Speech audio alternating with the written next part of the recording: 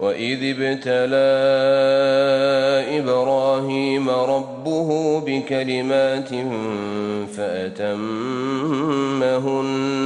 قال إني قال إني جاعلك للناس إماما قال ومن ذريتي قال لا ينال عهد الظالمين